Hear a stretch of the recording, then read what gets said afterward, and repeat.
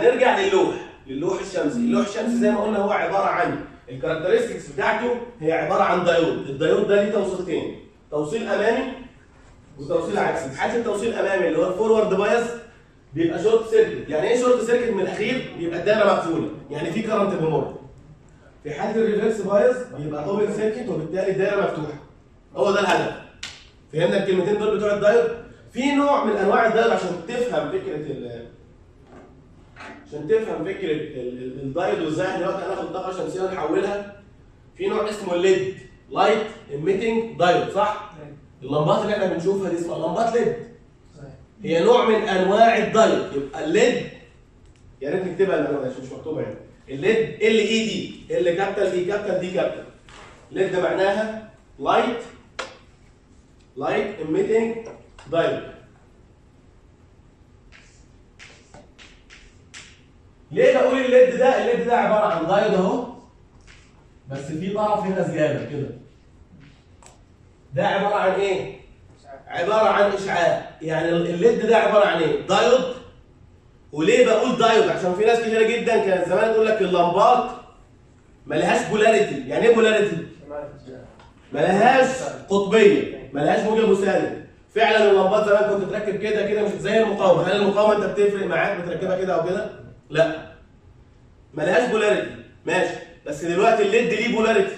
انت لو جبت لمبة LED توصلها على بطارية وقالب الطرفين مش هينور. تقلب تاني تنور ليه؟ لأن انت لو فاهم القصة بتاعت التوصيلة دي تبقى عارف ليه. انت لو جبت تخيل أدي ال LED لمبة LED ليها طرفين سلكتين. وصل ال positive مع ال positive هتلاقيها تنور. اقلب السلكتين. أو اقلب البطارية. طبعا واحد غبي يقلب البطارية ويقلب الدايود فبرضه مش هتنور لأن هو تمام؟ نفي النفي إثبات. أنت لازم تخلي تبقى فاهم إن ال positive مع ال positive في الحالة دي هيبقى في closed circuit وبالتالي الدايره هتكتمل يبقى هتنور لو قلبت الطرفين هتبقى open circuit والدايرة إيه؟ مش يبقى أنت لما تجيب كشاف LED أو تجيب لمبة LED اللي هي بتنور ألوان دي وتيجي تركبها لازم تاخد بالك إن ال LED ده له إيه؟ polarity له قطبية. يبقى لازم أوصل يعني هل السيارة ينفع توصل السيارة؟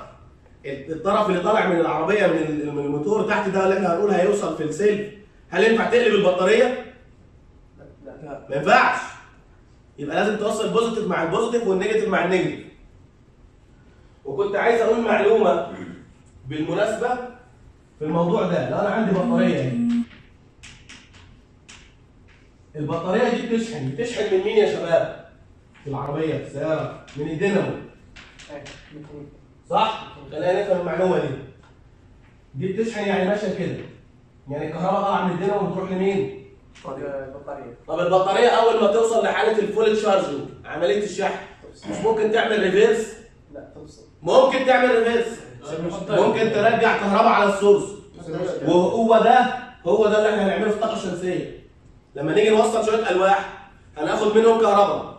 أنا عايز أضمن حاجة إن الكهرباء اللي طالعة من الألواح رايحة للبطارية تشحن البطاريات.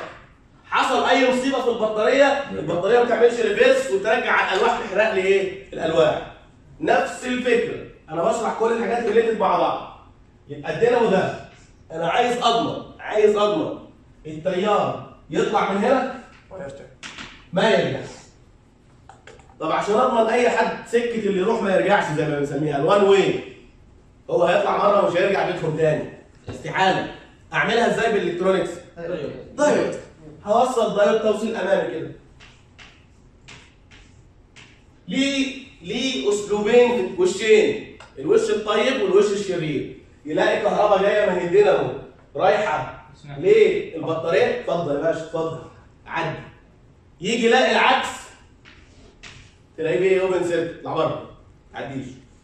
خلاص يبقى ده ال- ال- المفهوم اللي انت لازم تبقى يعني إيه فاهمه كويس جدا عن موضوع الدايود ان انت تبقى فاهم إيه ال application ال diode ده اللي انت بتدرسه في ترم كامل أنا عارف الناس تاخد مادة كاملة عن ال electronics تاخد فيها الدايود مادة كاملة عن ال electronics تاخد فيها الترانزستور ال PN junction و ال MOSFET والكلام ده. وبنقعد نحل في مسائل يعني بص بالصبح تمام؟ لازم تبقى عارف حتى شوية الابلكيشن البسيط في التطبيق بتاع المادة دي إيه. خلاص؟ أنا عايز أعمل حاجة زي دي كده في الألواح. يعني أنا هشيل هنا البطارية دي. آدي لوح كهربي.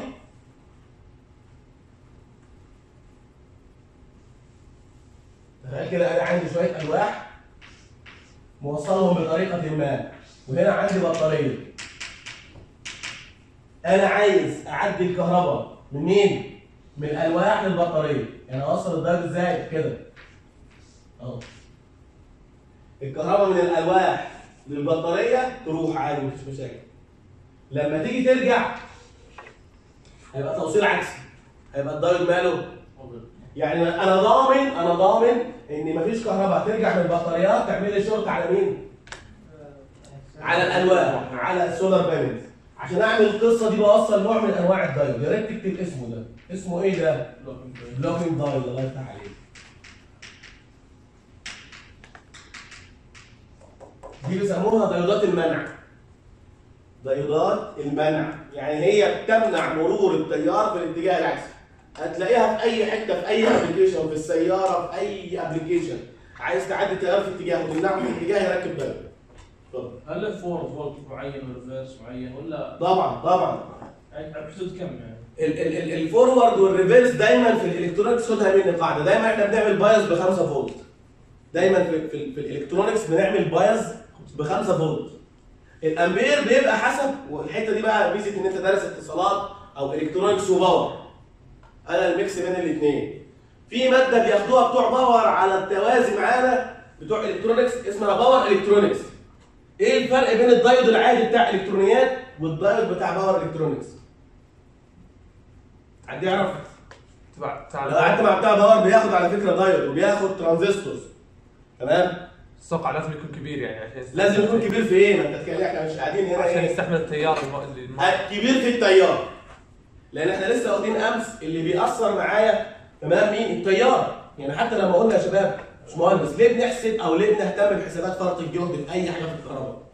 ليه بنعمل voltage drop calculation بسبب كمية التيار لأن لما بيحصل هبوط في الجهد بيتبعه إن التيار بيزيد لأن المعادلة واضحة وصريحة. ال power P بتساوي I في V فلما الجهد يقل التيار يبقى أنا مش بهتم بال voltage كفولت مش مهم عندي بس المشكلة تبعات هبوط الجهد بتؤدي إلى زيادة التيار اللي مر وإحنا زي ما قلنا التيار لما يمر في ال core أو في القلب بتاع الكابل هيسخن الكابل ممكن يحرق الكابل وهكذا يبقى الدايود اللي هوصله على الألواح بين الألواح والبطارية اسمه إيه؟ blocking diode blocking diode diodات المنع وفي دايود تاني بالمرة كده دايود تاني بالمرة نشرحه. لو أنا عندي لوح. اللوح ده عبارة عن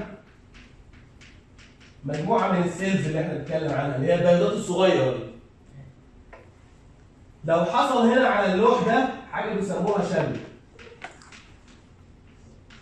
العدو اللدود. خدنا أول عدو لدود بتاعنا في الكهرباء اللي هو مين؟ أمس. الحرارة. برافو عليك. العدو اللدود لمهندسين الكهرباء الحرارة. لمهندسين الكهرباء الحرارة. الحرارة بتبوظ لك أي حاجة. تخرب عليك كل الشغل. يعني أنت جايب لوح. من كندا كانوا هم مشغلينه هناك في درجة حرارة مثلا 15 ولا 20 وجاي تركبه في السعودية هنا في درجة حرارة مثلا 90 مش هيشتغل ب 10% من كفاءته ممكن يتحرق أصلا. وزي ما قلت ببساطة زيك أنت بالظبط كده. أنت زي أي مكون إلكتروني بالظبط. لا هم الناس اللي بتعمل العلم ده بتعمل إيه بتعمل محاكاه اللي موجود في الحياة بس. دلوقتي الباشمهندس قاعد كده ومبسوط والتكييف شغال واللمبات شغالة ومش عارف إيه. لو خدنا الباشمهندس ده ورحنا قطعنا الكهرباء التكييف فصل درجة الحرارة بقت حر أوف أنا مش قادر مش عارف إيه. فهو لو كان مركز بنسبة 90% في إن أنا موفر له ال conditions دي فهيركز بنسبة 2 3% لو أنا إيه سخنت عليه درجة الحرارة بس. يعني إحنا لو في الصيف دلوقتي وقطعت الكهرباء بدون تكييف مش هنقدر نثبت حاجة. مخك ده زي ال electronics بالظبط. لما بتيجي تحط الدايل أو تحط الترانزستور أو تحط ال IC في درجة حرارة مرتفعة ما بيشتغلش normal وزي ما قلنا امس مش عايز أعيد وأزيد في الكلام. الترانزستور ليه two functions بيعمل إيه؟ amplifier في الحتة اللي هي بتاعت ال active region و switching بين ال cut off ومين وال saturation طيب خلاص. الحتة اللي عايز أقولها هنا العدو اللدود الثاني بتبقى كده العدو اللدود الثاني بس مش لمهندسين الكهرباء كلهم لمهندسين الطاقة الشمسية اللي هو مين؟ الظلال. يعني في واحد يروح يعمل على الكلية هنا على السطح يعمل ألواح ويظبط وال angle بتاعت الميل ومش عارف إيه ومختار أنضف حاجة ومظبط كل حاجة وال temperature. بس راح فجأة كده تمام؟ ليه إن في برج طلع ضلل على ال ال ال ال ال الألواح بتاعتنا باشمهندس إحنا يعني عايشين بفضل ربنا وعايشين على شوية الإشعاع اللي بيقول لنا ده مين اللي بيقول كده؟ ده اللوح الشمسي. هو عايش على الإشعاع. النفس بتاعه في ال irradiance أو ال irradiation تعال طب نشوف. بس أخلص الحتة دي عشان ما ادخلش بقى في لأن موضوع ال irradiance وأنا بستفيد بالإشعاع ولا بستفيد بالحراره والحوارات دي. خلينا نخلص الحتة دي. لو حصل إن في shadow هنا على cell أو اتنين أو ثلاثة الظل ده هيعمل إيه؟ من أي اتجاه؟ أنت من أنهي ظل. يعني أنت دلوقتي أقول لك حاجة أقول لك حاجة. بسيط شايف شايف شايف ال project ال projector ده مدي ضوء هنا في السبورة على الحيز ده رحت أنا جيت هنا عند العدسة نفسها رحت مضلل شوية. فهتلاقي في حتة سودة هنا صح؟ مش طالع شعاع ووصلنا. الحتة دي ممكن تأثر على إيه؟ هنا أصلا هتبوظ لك الرؤية. يعني أنت إيه؟ لا أنا مضلم على الحتة دي وفي كلام مكتوب هنا. كل شوية تلاقي كلمة ناقصة. فانت مش فاهم. هنا بقى ده ده بيعمل إيه؟ قال لك الحتة اللي ناقصة دي ممكن تبوظ لي كل اللوحه لأن النقطة دي بيحصل عندها إيه؟ ركز معايا. النقطة اللي بيحصل عندها ظلال والناس بتبقى واصل لها شمس فالناس بتاخد الإشعاع. المفروض تطلعه يروح للبطارية. أنت هنا بالظلال عملت مسار تاني للتيار يعني بدل ما يطلع من اللوح يروح يشحن البطارية. حلو؟ لا ده بيروحش للبطارية أصلا. بيعمل circulation هنا. بيروح لل... لل cell اللي متغطية. بيتهيأ كأنها مسار يعني أنت مطلع كهرباء بسلكتين بدل ما تاخد ال neutral دي رحت موصلها بالارضي زمان في الكلية ده أول امتحان أنا تقريبا خدت فيه صفر من عشرة في السلك بص كده لو أنا عندي تيار كده وفي عندي resistance ورجع. رحت واخد من النقطة دي كده؟ هنا دي 10 اوم ما ما له.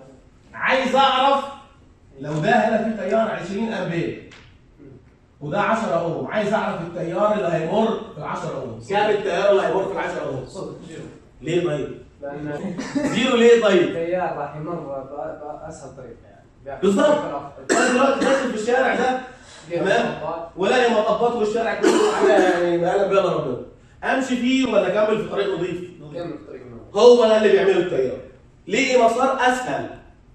بدل ما يمشي في حتة فيها ريزيستنس يعني مقاومات اللي هي المطبات والكلام ده ليه مسار جه هنا؟ عشان إحنا كنا في التوازن بنقول إيه؟ التيار بيتقطع بيتجزد تمام؟ يبقى في جزء هنا يدخل كده وكده. صحيح. راح قبل ما يتقطع قال له لا استنى يا عم الحتة دي كلها مطبات وفيها مشاكل. تعالى نمشي كلنا هنا. فبقى التيار هنا كام؟ zero current نفس القصة هتحصل في ال shade النقطة دي كأنها هتبقى شورت. فكل اللي اللي بيتولد من الحتة اللي هي المنوره دي بيروح في الحته الضلمه فيمر فيها تيار كبير. يعمل إيه التيار الكتير؟ يسخن. فبقت الحتة دي بيسموها hot spot يعني إيه؟ نقطة سخنة بالعربي كده. النقطة السخنة دي بتعمل إيه؟ تقعد تسخن الحتة دي تسخن الحتة دي لحد ما اللوح إيه؟ يحصل فيه short circuit ينهار. ولذلك العدو اللدود رقم اثنين لمهندسين الكهرباء والمهندسين الطاقة الشمسية بالذات ال shade اكتبها المعلومة دي. أنا كل ما أفتكر حاجة بقولها لك يعني بحيث بعد كده هنقلب في ال slide هتلاقي نفسك الدنيا حلوة. طيب. تعال نشوف إيه اللي مكتوب على اللوح الشمسي. كان في عنوان كده اسمه إيه اللي مكتوب على اللوح الشمسي؟